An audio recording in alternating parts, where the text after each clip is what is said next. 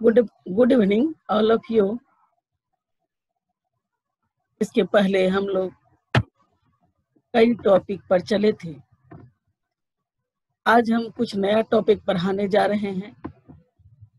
यह topic inorganic chemistry से है, जिसमें हम चर्चा करेंगे पी ब्लॉक एलिमेंट्स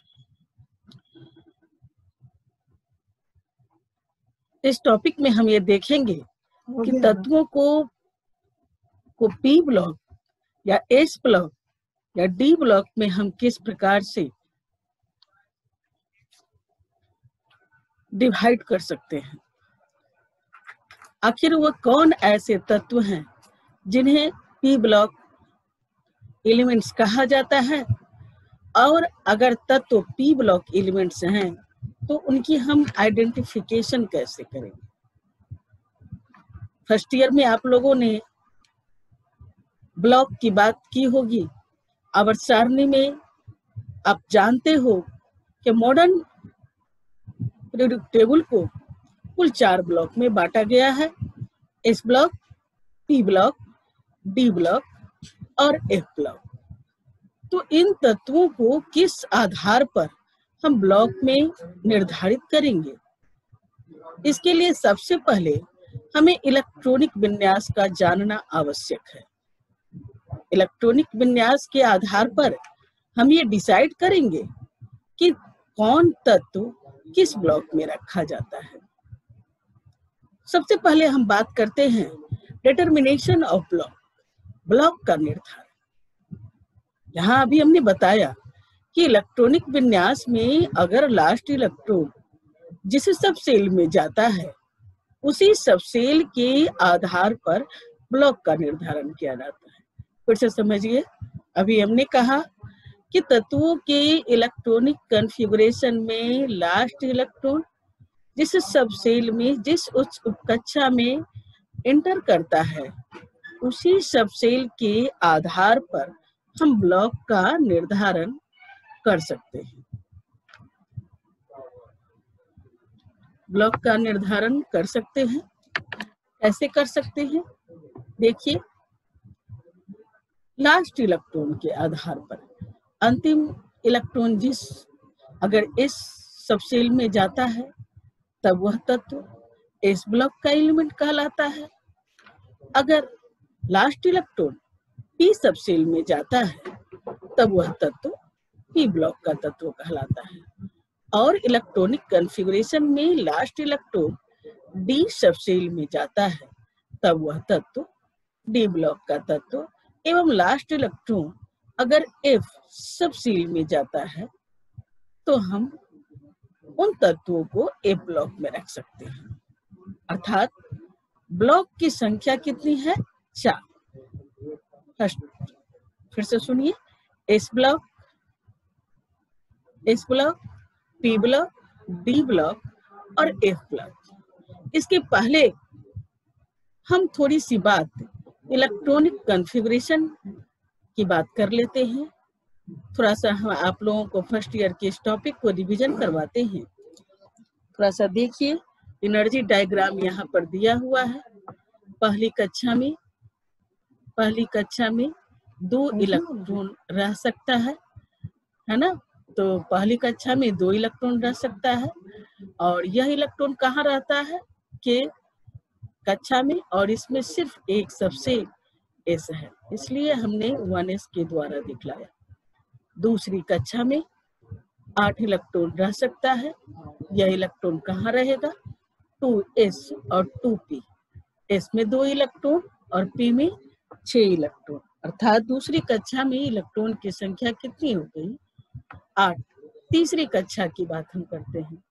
तीसरी कक्षा में तीन उपकक्षाएँ हैं। कौन कौन three s three p three d इसी तरह से चौथी कक्षा में में चार उपकक्षाएँ हैं। Four s four p four d और फोर ए इसी प्रकार से पांचवी कक्षा में भी चार उपकक्षाएँ हैं। Five s 5s, 5d, 5d and 5f. इसी तरह से छठी कक्षा में six s six p six d और सिक्स एफ़ इसी प्रकार सातवीं कक्षा में सेवन एस और seven p modern period table में आवर्त की संख्या, पीरियड की संख्या सात है। इसलिए हम सेवन सबसेल को इनके बढ़ते हुए ऊर्जा स्तर के क्रम में सजाते हैं। देखिए, यहाँ पर इलेक्ट्रॉन किस प्रकार से फ्लो करेगा, किस प्रकार से इंटर करेगा। वन एस से इलेक्ट्रॉन, टू एस में, टू एस से इलेक्ट्रॉन, टू पी में, टू पी से देखिए, थ्री एस में थ्री एस से इलेक्ट्रॉन, फिर कहा जाएगा? Three p. थ्री पी से इलेक्ट्रॉन फोर एस में जाता है। नीचे की ओर देखिए, फोर एस में। और फिर फोर एस से electron three d. Three d से इलेक्ट्रॉन फोर पी में। फोर पी से इलेक्ट्रॉन फाइव एस में। फाइव एस से इलेक्ट्रॉन फोर डी में। फोर डी से इलेक्ट्रॉन फाइव पी में। और फाइव पी से इलेक्ट्रॉन सिक्स एस में। इसी प्रकार से इलेक्ट्रॉन फोर एफ़ में then six p then seven s ये डायग्राम एनर्जी डायग्राम किसके आधार पर बनाया गया था? ये एनर्जी डायग्राम अफवाह प्रिंसिपल के आधार पर बनाया गया है। फ़र्स्ट ईयर में आप लोग पढ़े थे कि जिस इलेक्ट्रॉन के लिए n प्लस एल का मान, अर्थात प्रिंसिपल क्वांटम्स नंबर और एजमोथल क्वांटम नंबर का योग न्यूनतम होगा लोएस्ट होगा। इलेक्ट्रॉन पहले उसी कक्षा में क्या करेगा? प्रवेश करेगा। दूसरा रूल क्या बताया गया? कि अगर दो इलेक्ट्रॉनों के लिए n प्लस एन का मान, n प्लस एल अर्थात प्रधान क्वांटम संख्या और दिगांशी क्वांटम संख्या का योग अगर इक्वल हो जाए तो इलेक्ट्रॉन का प्रवेश उस अवस्था में, उस कक्षा में होगा, जिसके लिए n का मान न्यूनतम है। तो इसी दोनों प्रिंसिपल के आधार पर, इसी सिद्धांत के आधार पर हम यहाँ इलेक्ट्रॉनों को डायग्राम एनर्जी डायग्राम में लिखे हैं और अभी हमने कहा कि अगर तत्वों के इलेक्ट्रॉनिक विन्यास में लास्ट इलेक्ट्रॉन इसमें जाता है तब वह एस ब्लॉक का तत्व। अगर पी में जाता है, तब वह पी ब्लॉक का तत्व। अगर डी में जाता है, तब वह डी ब्लॉक का तत्व कहलाता है। आगे हम बात कर रहे हैं। देखिए एस ब्लॉक का तत्व को कैसे पहचानेंगे? अभी हमने कहा कि लास्ट इलेक्ट्रॉन कहाँ जा रहा है? एस सब सेल में जाता है। तब वह तत्व एस ब्लॉक का तत्व कहलाएगा। अब इस एस ब्लॉक के तत्वों का इलेक्ट्रॉनिक कॉन्फ़िगरेशन के आधार पर कैसे हम पहचान करेंगे? तो आप इनके इलेक्ट्रॉनिक कॉन्फ़िगरेशन के आधार पर पहचान कर सकते हैं। कैसे भाई तो एस ब्लॉक के तत्वों का general electronic configuration n s one to two है। एस ब्लॉक एस में दो इलेक्ट्रॉन रह सकते हैं, इसलिए एस ब्लॉक में सिर्फ़ दो वर्ग हैं, ग्रुप वन और ग्रुप दो। ग्रुप वन और ग्रुप दो के सभी सदस्यों को हमने एस ब्लॉक में रखा है। थोड़ा सा हम पीछे की बात करते हैं। परीक्षा में आपसे ये सबसेल की आकृति की बात की जाती है। थोड़ा सा हम उसकी बात करते हैं। इस सबसेल अर्थात इस उपकक्षा की आकृति स्फेरिकल होती है, गोलाकार होती है। पी सबसेल पी उपकक्षा की आकृति कैसी होती है? डम्बल होती है, अर्थात डमरू के आकार की होती है।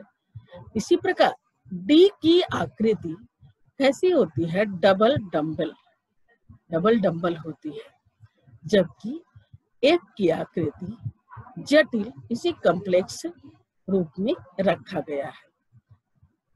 फिर से समझिए एस की आकृति spherical p dumbbell d double dumbbell और एफ़ कैसा होता है? कम्प्लेक्स अब हम थोड़ी सी बात करते हैं कि इन कक्षाओं में इलेक्ट्रॉन की संख्या कितनी होगी और ये कितनी ऑर्बिटल में बटे हैं। देखिए, इस सब सेल में दो इलेक्ट्रॉन उपस्थित है और एक ऑर्बिटल में अधिक से अधिक दो इलेक्ट्रॉन रह सकते हैं। इसलिए एक्स इस सब सेल में सिर्फ़ एक ऑर्बिटल है। हालाँकि, सब सेल में उपस्थित ऑर्बिटल डायरेक्शन युक्त होते हैं, लेकिन स्फेरिकल आकृति के कारण इसे हम डायरेक्शन लेस भी कह सकते हैं। बात समझिए, आपसे पूछता है कि किस, कौन ऐसा और वाइटल है जो डायरेक्शन लेस है? फ़र्स्ट ईयर में बात की गई थी। आप लोग पढ़े होंगे डी जेनरेट ऑर्बिटल फिर से समझिए डी जेनरेट और वाइटल डी जेनरेट और वाइटल का मतलब क्या होता है? डी जनरेट वाइटल का मतलब होता है कि वैसे ऑर्बिटल जिनका एनर्जी लेवल क्या है? इक्वल है। तो जब एनर्जी लेवल इक्वल है सेप क्या है? इक्वल है। तो इसमें अंतर किसमें हुआ, तो इसमें अंतर इनके ओरिएंटेशन में है। तो डी जेनरेट ऑर्बिटल का अर्थ है कि ऑर्बिटल जिनका ऊर्जा स्तर सेम एनर्जी लेवल है ऊर्जा स्तर समान है लेकिन ओरिएंटेशन अर्थात घूर्णन की दिशा भिन्न भिन्न है। तो बात हम करते हैं पी सबसेल में। पी सबसेल में आप लोग जानते हैं, छह इलेक्ट्रॉन हो, उपस्थित है और ये इलेक्ट्रॉन थ्री ऑर्बिटल कौन कौन ऑर्बिटल में रहेंगे? पी एक्स पी वाई और पी जेड में उपस्थित रहेगा। इसी प्रकार से डी सबसेल की बात करते हैं। डी उपकक्षा में कितने इलेक्ट्रॉन होते हैं? दस इलेक्ट्रॉन। और हमने अभी कहा कि इस एक सबसेल में, एक ऑर्बिटल में, सॉरी, एक ऑर्बिटल में सिर्फ़ दो इलेक्ट्रॉन रह सकता है। अर्थात डी सबसेल में ऑर्बिटल की संख्या कितनी है? पाँच है। और इसी प्रकार से एफ़ सबसेल में चौदह इलेक्ट्रॉन उपस्थित रहता है। इसलिए एफ़ सबसेल में ऑर्बिटल की संख्या कितनी है? सात है। आगे हम बढ़ते हैं। ये तो इनके इलेक्ट्रॉन की बात किया जाए। अब हम बात करते हैं पी ब्लॉक एलिमेंट्स का स्टडी हम लोगों को क्लास ट्वेल्व में करना है। और इस क्लास ट्वेल्व में इसमें भी सिर्फ़ तीन वर्गों की बात, तीन ग्रुप की बात की जाएगी। वर्ग पंद्रह सॉरी वर्ग चार चार वर्ग की बात की जाएगी। Group fifteen group sixteen, group seventeen और ग्रुप एटीन। इसी चार वर्ग पर हम बात करेंगे। पहले सबसे पहले देखिए पी ब्लॉक एलिमेंट्स का जनरल इलेक्ट्रॉनिक कन्फिगुरेशन क्या है? जनरल का मतलब होता है कि जिस इलेक्ट्रॉनिक विन्यास के आधार पर हम किसी भी तत्व की पहचान कर सकते हैं। तो इसका विन्यास क्या है? देखिए n s two n p one to six n s two n p one to, six. मतलब इसके बाह्यतम कक्षा का विन्यास n s two n p एक से छ इलेक्ट्रॉन तक हो सकता है। क्योंकि पी में कितने इलेक्ट्रॉन रह सकते हैं? छह। एन यहाँ पर क्या है? आउटर मोस्ट सेल की संख्या है। यहाँ हम बात करते हैं।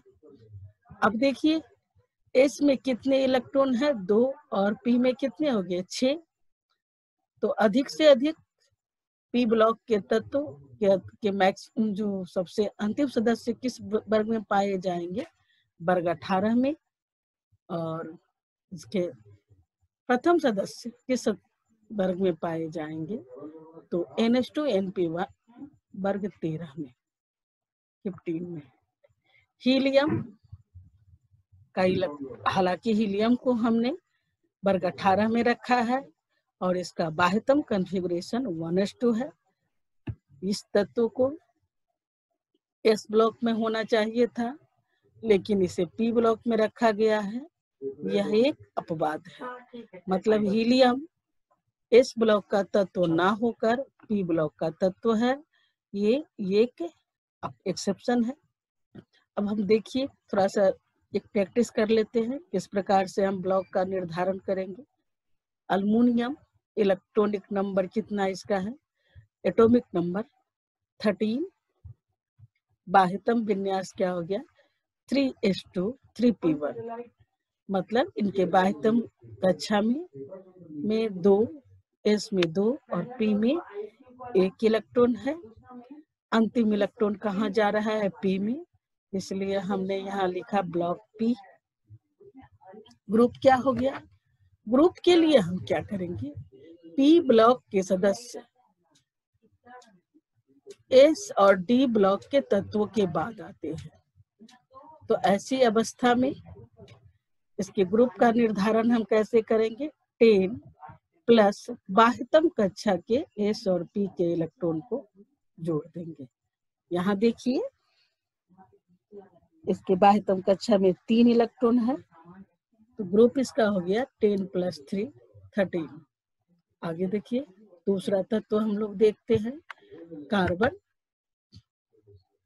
कार्बन का एटॉमिक नंबर कितना है? सिक्स इलेक्ट्रॉनिक विन्यास क्या हो गया? One s two two s two two p two इसका ब्लॉक क्या हो जाएगा? पी अंतिम इलेक्ट्रॉन कहाँ जा रहा है? पी में। ग्रुप की बात की जाती है। ग्रुप क्या हो गया है? दस। इसके बाह्यतम कक्षा में कितना है? दो प्लस दो, चार। अर्थात इसे वर्ग फोर्टीन में रखेंगे। इसी प्रकार से नाइट्रोजन के बात हम करते हैं। इसके आउटर मोस्ट सेल में एस में दो और पी में कितने इलेक्ट्रॉन है? थ्री है। इसलिए इस तत्व को ब्लॉक पी में रखा गया है। और इस तत्व का ग्रुप टेन प्लस फाइव कितना हो गया? फिफ्टीन अर्थात नाइट्रोजन फिफ्टीन वर्ग का सदस्य है, पंद्रह वर्ग का सदस्य है। उसी तरह से बोरन एटॉमिक नंबर कितना हो गया? फाइव विन्यास आउटर विन्यास two s two two p one इसके बाह्यतम कक्षा में कितने इलेक्ट्रॉन है? तीन. ब्लॉक क्या हो गया? P group ten plus three equal to thirteen आगे चलते हैं। Silicon, fourteen. इनके आउटर मोस्ट सेल में का विन्यास क्या हो गया? Three s two, three p two. Last electron कहाँ है? पी में है। इसलिए ब्लॉक इसका क्या हो गया है? पी ग्रुप क्या हो जाएगा? टेन प्लस फोर फोर्टीन इसी प्रकार फास्फोरस एटॉमिक नंबर क्या है? Fifteen electronic configuration three s two three p three block p group ten plus five fifteen इसी तरह से सल्फ़र की बात किया जाए sulphur sixteen three s two three p four block क्या हो गया है? P group ten plus six sixteen इसी प्रकार से नियोन एटॉमिक नंबर कितना है? 18 बाह्यतम विन्यास क्या हो गया? Three s two three p six block p group इसका क्या हो जाएगा? टेन प्लस एट एटीन तो एक्चुअली क्या है? हम समरी के रूप में हम कर सकते हैं, संक्षेप में हम कह सकते हैं कि पी ब्लॉक तत्वों का ग्रुप का निर्धारण हम कैसे कर सकते हैं? तो ten plus a outermost shell के एस और पी के इलेक्ट्रॉन को अगर हम ऐड कर देते हैं तो ये पी ब्लॉक एलिमेंट्स का, के वर्ग का, इसके ग्रुप का निर्धारण करेगा। तो इस तरह से हमने देखा कि पी ब्लॉक एलिमेंट्स को हम आइडेंटिफाई कैसे कर सकते हैं। आगे हम देखते हैं। पी ब्लॉक एलिमेंट्स में आखिर कैसे तत्वों को रखा गया है? उनकी प्रकृति क्या है? तो पी ब्लॉक के एलिमेंट्स मेटल्स अर्थात धातु भी हो सकते हैं मेटेलोइड अर्थात उपधातु भी हो सकते हैं, एवं नन मेटल अर्थात अधातु भी हो सकते हैं। बिल्कुल, आपसे एक प्रश्न पूछता है कि पी ब्लॉक एलिमेंट्स का मैक्सिमम ऑक्सीडेशन स्टेट अगर दर्शाया जाए तो उनकी संख्या क्या होती है? फिर से समझिए, maximum oxidation state shown by p block elements. P block के तत्वों का अधिकतम ऑक्सीकरण अवस्था को हम कैसे रिप्रेजेंट कर सकते हैं? तो सम ऑफ़ वैलेंस इलेक्ट्रॉन कहने का मतलब क्या है? उसकी संवेदकता इलेक्ट्रॉन में संवेदकता इलेक्ट्रॉन किसको कहते हैं? बाह्यतम कक्षा के इलेक्ट्रॉन को अगर हम ऐड कर देते हैं तो ऐसी अवस्था में अधिकतम, मैक्सिमम ऑक्सीडेशन स्टेट का निर्धारण हो सकता है। फिर से समझिए, पी ब्लॉक के तत्वों का मैक्सिमम ऑक्सीडेशन स्टेट का हम डिसीज़न कैसे लेंगे? तो इनके आउटर मोस्ट सेल में उपस्थित वैलेंस इलेक्ट्रॉन की अगर हम ऐड कर देते हैं तो उनकी संख्या के आधार पर मैक्सिमम ऑक्सीडेशन स्टेट का निर्धारण किया जा सकता है। अर्थात पी ब्लॉक के तत्वों में अधिकतम ऑक्सीकरण अवस्था, इनके बाह्यतम कक्षा में उपस्थित इलेक्ट्रॉनों की संख्या के बराबर होती है। एग्ज़ाम्पल के तौर पर देखिए अल्मोनियम अल्मोनियम का बाह्यतम इलेक्ट्रॉनिक कॉन्फ़िगरेशन क्या है? Three s two three p one इनके आउटर मोस्ट सेल में अधिकतम इलेक्ट्रॉन की संख्या कितना है? टू प्लस वन थ्री अर्थात इस तत्व की मैक्सिमम ऑक्सीडेशन स्टेट प्लस तीन हो सकती है। आगे बात करते हैं। सल्फ़र की बात है। सल्फ़र इसका एटॉमिक नंबर कितना है? सिक्सटीन। आउटर मोस्ट इलेक्ट्रॉनिक विन्यास क्या है? कॉन्फ़िगरेशन क्या है? Three s two, three p four. इनके बाह्यतम, इनके आउटर मोस्ट सेल में छह इलेक्ट्रॉन है। इसलिए maximum oxidation state plus six sulphur का हो सकता है। एवं ग्रुप ऑक्सीडेशन स्टेट वर्ग ऑक्सीडेशन वर्ग ऑक्सीडेशन अवस्था का निर्धारण हम कैसे करते हैं? तो ग्रुप नंबर में माइनस टेन कर देते हैं। जैसे अल्मोनियम का ग्रुप नंबर थर्टीन है और उसमें अगर दस घटा देंगे तो इसमें ग्रुप ऑक्सीडेशन स्टेट कितना हो जाएगा? थ्री वर्ग की संख्या माइनस दस। इसके आधार पर हम ग्रुप ऑक्सीडेशन स्टेट का निर्धारण कर सकते हैं। अभी हमने कहा कि वर्ग ब्लॉक, पी ब्लॉक में टोटल वर्ग की संख्या कितनी है? छ है।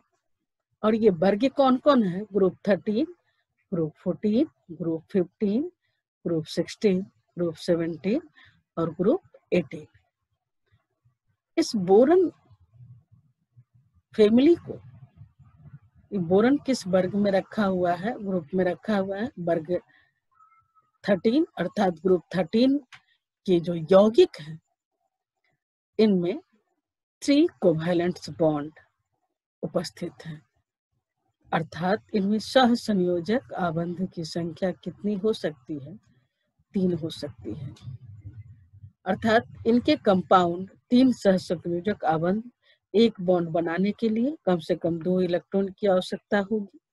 अभी हमने कहा कि थ्री कोवेलेंट बॉन्ड्स है। अर्थात वर्ग थर्टीन के यौगिकों में, इनके आउटर मोस्ट सेल में छह इलेक्ट्रॉन मौजूद है। अतः इनके यौगिकों में ऑक्टेट प्राप्त करने के लिए, अष्टक प्राप्त करने के लिए दो इलेक्ट्रॉन की आवश्यकता है। अतः ऐसे यौगिकों को हम इलेक्ट्रॉन डिफिशियंट या लिविस एसिड भी कह सकते हैं। अच्छा समझिए? Which is called Lewis acid क्यों? क्योंकि इनके यौगिक इलेक्ट्रॉन डिफिशियंट है, इनमें इलेक्ट्रॉन की कमी है, ये अष्टक प्राप्त ये नहीं कर पाते हैं और इलेक्ट्रॉन डिफिशियंट होने के कारण ही लिविस एसिड भी इन्हें हम कह सकते हैं। अब लिविस एसिड आप लोग पहले पढ़ चुके हैं फ़र्स्ट ईयर में कि लिविस एसिड जो होते हैं, वैसे एसिड को कहा जाता है। जो लोन पेयर एक्सेप्ट कर सकता है। अर्थात जिनमें इलेक्ट्रॉन युग्म ग्रहण करने की प्रवृत्ति होती है। ऐसे यौगिक, ऐसे अम्ल या तो विद्युतीय रूप से क्या होते हैं? पॉजिटिवली चार्ज होते हैं या इनका ऑक्टेट क्या होता है? इनकम्प्लीट होता है।